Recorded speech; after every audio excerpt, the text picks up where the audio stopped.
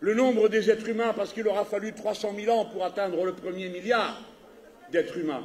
Il n'aura fallu que 100 ans pour atteindre le deuxième. Et dans ma génération, on a connu deux doublements de la population mondiale, ce que je ne vous souhaite pas, car sinon ça vous amènerait à 32 milliards d'êtres humains. Nous sommes dorénavant 8 milliards.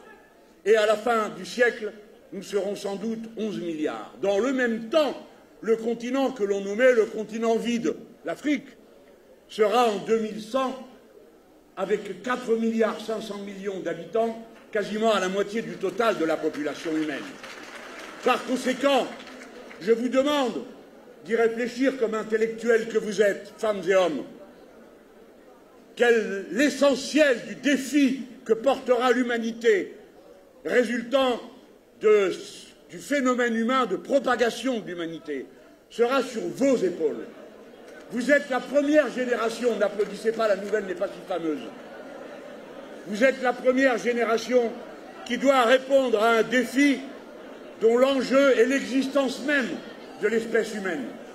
C'est-à-dire, qu'allez-vous faire pour inventer un mode de production qui ne soit plus celui dans lequel nous vivons?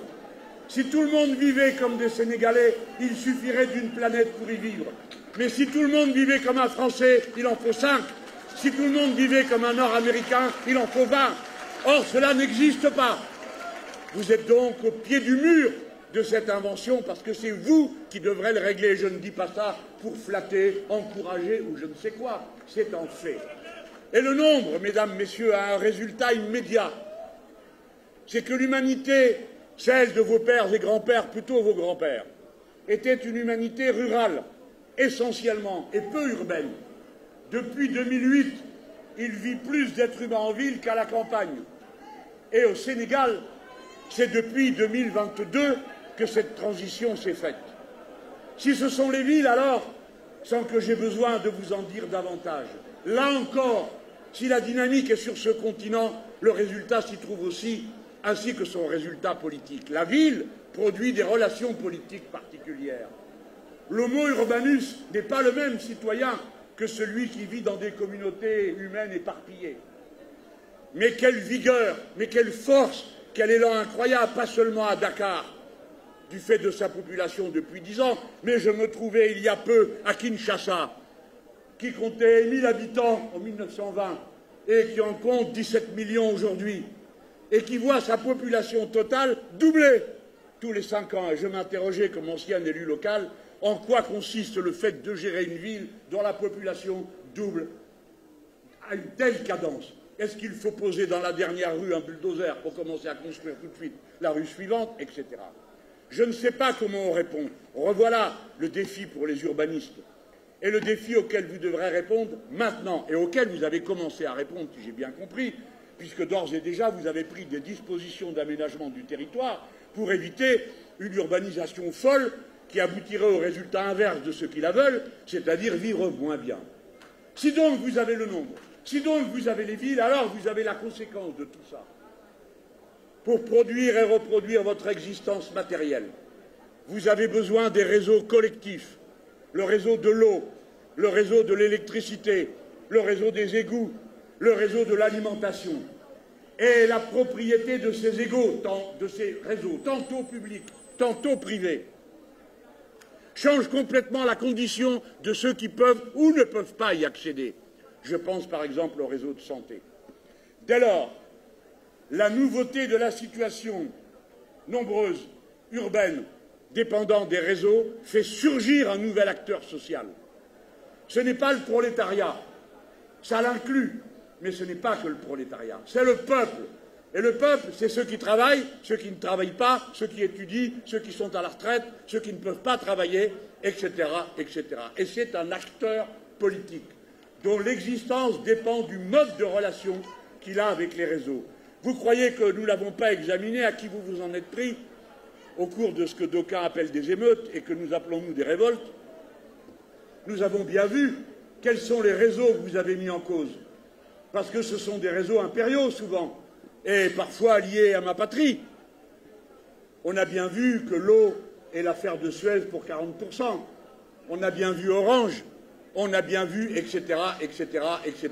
Je ne veux pas faire de mauvaise réputation à mes compatriotes, Mais si la masse des Sénégalais s'est tournée de ce côté-là pour manifester sa protestation, c'est qu'elle exprimait de cette manière à quel point les réseaux sont les dénominateurs communs du peuple et l'enjeu de la vie du peuple.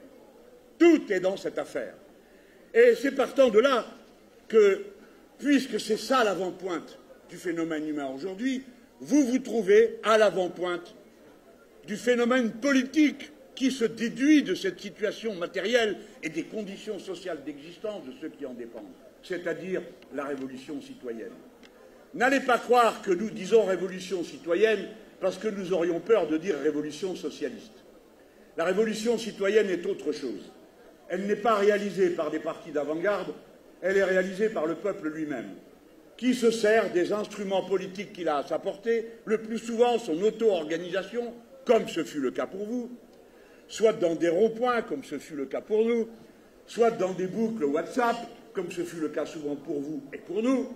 Bref, une auto-organisation populaire portant la mobilisation qui, dès lors, devient insaisissable aux puissants. Et la révolution citoyenne, oui, est une révolution, parce que son objet est le contrôle populaire, c'est-à-dire la souveraineté du peuple. La souveraineté du peuple est l'objet de la révolution sénégalaise. J'en ai eu la confirmation en en discutant avec Ousmane Sonko. La souveraineté ne peut se détacher de la question de l'indépendance, car on n'est pas souverain quand on n'est pas indépendant. Et l'indépendance, ce n'est pas un statut seulement géopolitique, c'est un statut concret qui signifie rompre les dépendances, devenir autant qu'on le peut, chaque fois qu'on le peut, autosuffisant pour soulager l'humanité universelle du grand déménagement permanent des marchandises auquel elle se livre aujourd'hui, et pour permettre qu'à tout moment soient sécurisés les approvisionnements qui se sont rompus, vous l'avez vu, pendant la crise du Covid. Si bien que tous ceux qui nous prenaient la mondialisation comme le sommet de ce que l'expérience humaine pouvait être, en oubliant de dire que leur mondialisation, c'est une nouvelle organisation du travail international reposant sur un seul et unique avantage comparatif. Qui on peut moins payer ou on peut mieux saccager sans payer. C'est-à-dire une irresponsabilité sociale et environnementale qui est une des questions majeures de notre temps pour ce qui est du contrôle politique. Donc, si souveraineté et indépendance vont ensemble, chacun comprend que la liberté va avec et que son enjeu, la liberté, est le contrôle populaire. C'est pourquoi cette révolution est dite citoyenne, puisque son moyen est citoyen, les citoyens, et son objectif est la citoyenneté. Ensuite, quel programme sera appliqué? C'est ce que nous allons voir. C'est ce que nous allons voir. Mais aucun pouvoir issu d'une révolution citoyenne ne peut, et souvent ne veut, échapper à l'injonction qu'il a reçue des masses permettre cet autocontrôle, mais surtout l'implication. C'est pourquoi je partage avec le PASTEF une idée fondamentale de l'action politique. Elle doit être inclusive. Elle ne doit pas être de surplomb. Elle n'est pas une injonction que les dirigeants font aux masses. Elle est une osmose. Et pour mieux dire, une symbiose, une complémentarité des niveaux d'action. Si cette complémentarité se rompt, alors le pacte politique lui-même se rompt toute la question posée.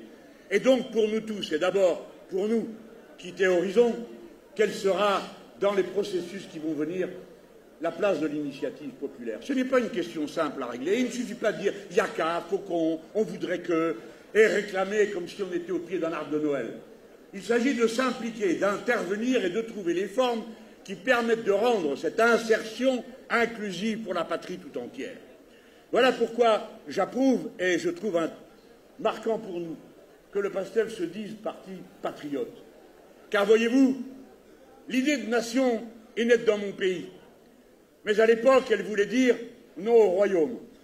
Elle voulait dire le peuple. Et le mot a été récupéré. Si bien qu'à la fin, la nation est devenue le prétexte à la barbarie. Elle a donné le nationalisme. Mais le patriotisme, ce n'est pas le nationalisme. Le nationalisme, c'est la haine des autres. Le patriotisme, c'est l'amour des siens. Et en cela, les deux concepts, aujourd'hui, s'opposent. Mais c'est évidemment le statut de citoyen qui règle tout. À partir de là, si vous êtes dans une révolution citoyenne, et vous êtes dans une révolution citoyenne, Alors il s'agit de déployer, je ne vais parler que de la partie la plus simple pour moi, puisque je suis français, c'est-à-dire que je ne suis pas sénégalais, à moins que vous décidiez de me donner une carte d'identité. Mais pour l'instant, ce n'est pas le cas. Et je crois que vous n'avez pas besoin de moi pour trouver des bonnes idées. En tout cas, on peut les partager. Si indépendance, souveraineté et liberté sont liés avec la citoyenneté, alors il faut que dans l'arène internationale, on voit surgir une nouvelle politique, une politique réellement non alignée. Et une politique réellement non alignée, ça ne veut pas dire être neutre. Ça ne veut pas dire je ne m'occupe pas de ce que vous faites. C'est l'inverse. Ça veut dire je me mêle de tout, mais sur la base des mêmes principes tout le temps, c'est-à-dire le contraire de ce que font les Européens et les États-Unis d'Amérique, qui font des leçons à la terre entière sur les droits de l'homme, la démocratie et le reste, et qui ensuite se dépêchent de regarder ailleurs pendant qu'on massacre des milliers de gens dans une région du monde comme jamais on ne l'a fait depuis les génocides précédents. Ne perdons pas de vue qu'il en faut les moyens intellectuels. Et le premier des moyens intellectuels est de rompre avec l'idéologie qui a pourri toute la fin du XXe siècle. Cette idéologie, les Allemands lui ont donné un nom. Ça s'appelle l'ordolibéralisme. En gros, ça veut dire la politique ne se mêle pas d'économie. Car l'économie ferait l'objet d'une autorégulation spontanée par la main invisible du marché qui réglerait tout. Tant et si bien que les politiques de tous les États ont consisté pour l'essentiel à défaire toutes les règles. Et que tous les libéraux qui ont été au pouvoir sur un programme libéral dont ils se sont réclamés, à commencer par le prédécesseur, ici même, dans ce pays, tous les libéraux qui n'avaient que le mot liberté à la bouche ont tous fini comme des brutes, comme des gens qui persécutaient leur propre peuple. Pourquoi? Parce que ceux qui veulent que le marché s'exprime spontanément passent leur vie à déréguler et que la dérégulation aggrave les inégalités puisqu'elle réserve les services à ceux qui peuvent se les payer. Donc l'action de l'État consiste à tout défaire et on attend que le marché le remplace. Naturellement, ça ne se produit jamais. Ce qui le remplace, c'est le pillage. Et contre le pillage, les peuples très vite se mettent en mouvement pour des raisons qui n'ont rien d'idéologique. Ils veulent manger, la belle affaire, ils veulent boire, ils veulent se soigner, ils veulent éduquer leurs enfants. Et cela suffit à faire des révolutions. Il n'y a pas besoin de programme plus compliqué que celui-là. Et voilà comment, à chaque fois, cela finit dans des répressions qu'on n'imaginait pas. Dans mon pays, comme dans bien d'autres. Et si je mentionne mon pays, c'est parce qu'il n'est pas avare de donner des leçons aux autres sans se soucier de savoir ce qu'il fait lui-même. Je voulais le dire devant vous, avant de vous dire, vous avez sans doute la responsabilité à ce moment compte tenu du fait que toute l'Afrique vous regarde, compte tenu du fait que ce que vous dites compte pour tout le monde, comme je l'ai vu à d'autres moments sur le continent latino-américain, vous avez une responsabilité singulière, qui est de proposer une direction dont vous faites la démonstration. Toute l'Afrique attend et regarde cela. Et en matière de relations internationales, vous pouvez être ceux qui vont faire naître un nouvel internationalisme. Non pas celui qui va répéter, qui est nécessaire, la lutte contre les impérialismes. Évidemment, cette question est toujours d'actualité. À côté de la volonté de contrôle sur les conditions dans lesquelles se produit la production et l'échange, qui est absolument indispensable, il faut faire surgir aussi une attention singulière à ce qui est de la production intellectuelle, spirituel. Et vous autres Sénégalais, si vous faites le même parcours que moi, vous finirez par aller un jour ou l'autre regarder ce que racontait Sangor sur, le style, parce que si on peut le discuter comme homme politique, comme penseur, il a eu quelques intuitions absolument extraordinaires qui peuvent être encore d'actualité. Et parmi celles-ci, quelque chose qui est fondamental. Oui, l'être humain est un être social. Oui, il doit produire et reproduire les conditions de son existence matérielle. Oui, c'est vrai, les conditions de production de l'existence matérielle déterminent des rapports sociaux et des rapports de domination. Mais les êtres humains sont des êtres de culture et ils ne peuvent être des êtres sociaux qu'en étant des êtres de culture, c'est-à-dire faisant transiter leurs relations sociales à travers des rites, des chansons, une langue, des langues des costumes, des cuisines, des musiques, bref, tout ce qui fait cet à côté que dédaigne le plat matérialisme absurde des libéraux qui, naturellement, n'a rien à voir avec le matérialisme philosophique dont, pour ma part, je me réclame. En tout cas, cela, cette double vigilance, c'est elle qui peut faire l'objet non pas de grandes déclarations que l'on ferait, d'affirmations de concepts. Cela est toujours utile, car les idées mises au permettent de penser honnête. Mais ce dont nous avons surtout besoin, c'est de programmes concrets. Dans mon pays, le mouvement insoumis n'existe que par son programme, puis par le mouvement qui accompagne ce programme. Pouvons-nous avoir un programme pour un nouvel internationalisme? Ce pourrait être, on pourrait l'appeler nouvelle. Je ne vous entends pas, hélas, à cette distance. Un nouvel altermondialisme. Parce qu'il tiendrait compte de ces deux objets. Je vous rejoins, Président Sonko, quand vous m'avez dit qu'il était temps de se préoccuper des productions comme l'intelligence artificielle et son contenu. Ah mais si vous voulez, j'arrête tout de suite. Hein. J'ai mal interprété, je, je n'arrive pas à interpréter les signes à cette distance. Je sais que c'est dur, hein, il fait chaud. Donc, disais-je, la production intellectuelle est en soi un enjeu. Tous vous avez entendu parler de l'intelligence artificielle. Tous vous avez entendu parler de ChatGPT. Eh bien, mesdames, messieurs, ChatGPT apprend en anglais. ChatGPT traduit le reste et vous propose, à partir de ces traductions, bien sûr, la traduction est la démonstration de l'universalité de l'être humain. Mais il existe d'autres systèmes. Les chercheurs du CNRS en ont mis un au point. Il s'appelle Blom. Mais lui, il apprend en 46 langues, dont une dizaine de langues africaines. Et bien sûr que c'est un enjeu de savoir comment rentre l'information, car cela détermine comment ensuite elle va sortir et dans quelles conditions elle va être traduite. Car la traduction, c'est aussi à la fois l'universel et le fait qu'on ramène à un socle commun. Si vous voulez que tout soit ramené au sabir des boutiques d'aéroport qu'est aujourd'hui l'anglais, et à l'incroyable simplification de la réalité que contient cette langue à cette étape, en tant qu'outil d'intervention entre les êtres humains, alors il n'y a qu'à laisser faire ChatGPT. Mais si l'on veut que l'intelligence artificielle soit réellement une intelligence humaine, il faut qu'elle prenne en compte la diversité humaine elle-même. Or de cela, il n'est jamais question. Il faut qu'il en soit question. De même, la propriété des savoirs scientifiques ne doit plus pouvoir être privatisée. Dans mon pays, jusqu'à 1959, il était interdit de déposer un brevet sur un vaccin. Il faut donc que soit porté comme une cause commune politique, je ne dis pas par les États, bien sûr par les États, mais par les militants, par les partis politiques, le fait que nous réclamons l'accès libre à tous les savoirs scientifiques de toute l'humanité. Parce que, voyez-vous, c'est à ce prix que la culture cumulative des êtres humains peut se diriger dans le sens du progrès. Sinon, la culture cumulative ne sera rien d'autre qu'une addition de segments et de compartiments de propriété privée de savoir dont ceux qui ne peuvent se les payer seront définitivement privés. Si nous voulons que le savoir soit un bien commun, comme doivent l'être absolument, radicalement, les biens communs comme l'air, comme l'eau, puisqu'aucun d'entre vous, aucune d'entre vous ne peut s'en passer.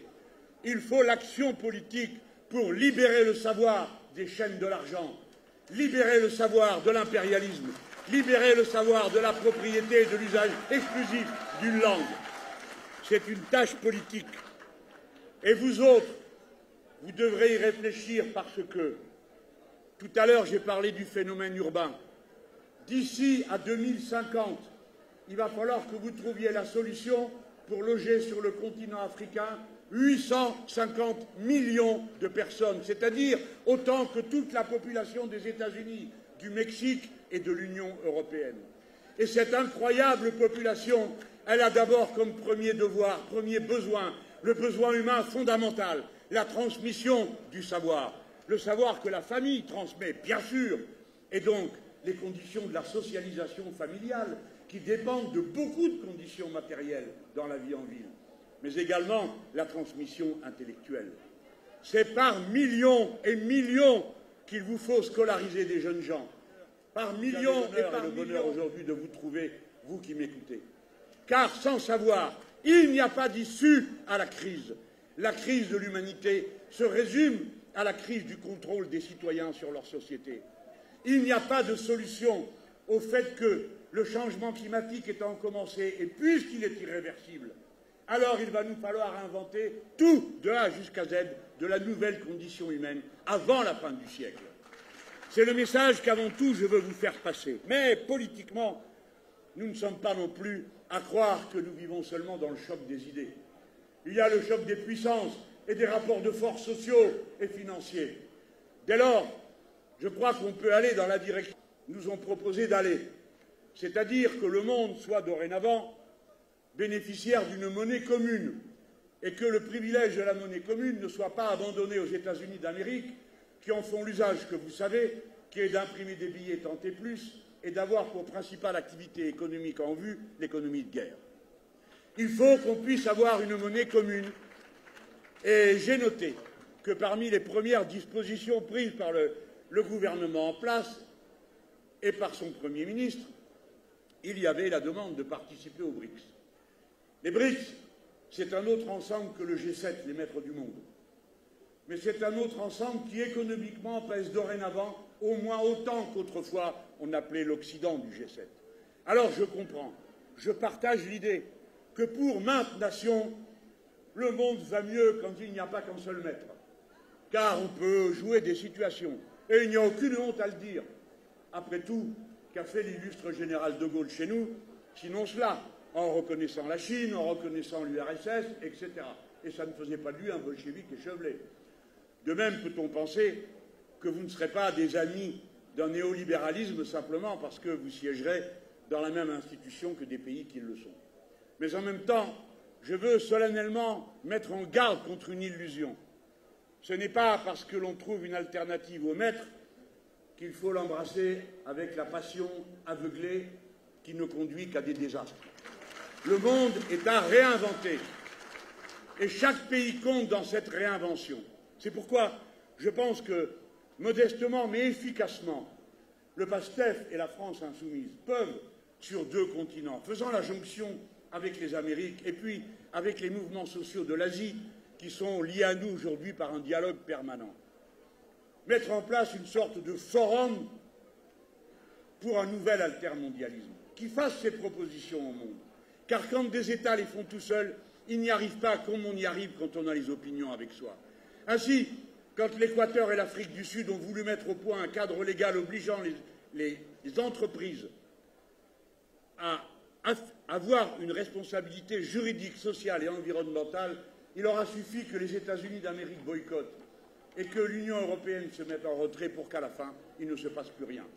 Ça ne se passe que s'il y a des opinions politiques mobilisées, s'il y a des peuples mobilisés, et si l'objectif de la révolution citoyenne donne à voir sans cesse qui n'a pas l'intention de dire à chacun comment il doit vivre, mais qu'il a bel et bien l'intention non seulement de changer les conditions sociales, mais aussi de changer les conditions culturelles et intellectuelles du monde entier pour en faire une humanité qui soit une humanité intervenante, une humanité citoyenne. Je vais maintenant conclure en me faisant un instant sénégalais. Alors j'ai fait une pile de citations comme j'ai dû replonger dans Sangor